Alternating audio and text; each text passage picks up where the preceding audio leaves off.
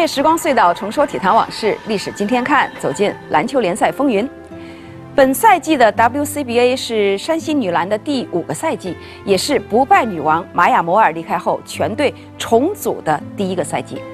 山西女篮之前的迅速崛起与这位超级外援有着很大的关系。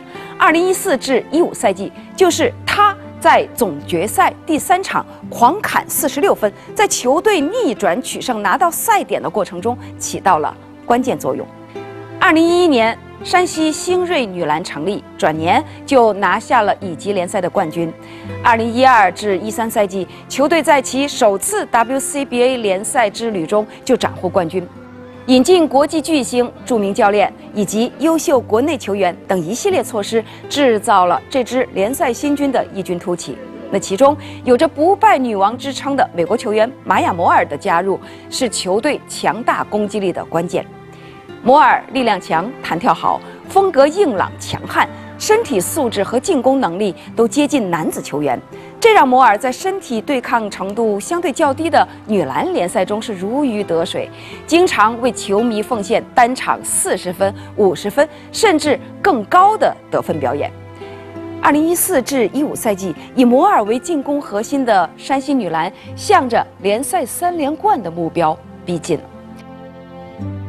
这个赛季 WCBA 的总决赛是在山西与北京之间进行的，采取五战三胜制，两队先是分别拿下了自己的主场，第三场比赛谁赢谁就抢到赛点，而那又是山西女篮的最后一个主场，对志在卫冕的他们来说非常关键。二零一五年三月三日，第三场比赛打响，开始阶段，身穿蓝色球衣的北京队似乎找不到状态。打了五分多钟才拿到四分，而山西女篮一上来就展示出卫冕冠军的攻击力，在同样的时间里有十四分进账。北京队在逐渐找到状态后，进攻有了起色。首节结束，他们十七比二十三落后六分。在山西队的二十三分当中，摩尔内突外投，一人就贡献了十六分。第二节，北京队重点盯防摩尔的战术见到了效果，整整十分钟，山西队只让计分牌变了五次，有四次还是靠罚球涨的分。最后四十秒，魏伟打进了山西队在第二节唯一一个运动战进球。北京队则完全相反。手感找回了不少，打出了一波十九比零的进攻高潮。半场结束时，他们不仅将之前的分差完全抹平，甚至还领先了十四分。休息回来之后，在主场观众震耳欲聋的加油声中，山西队如梦初醒。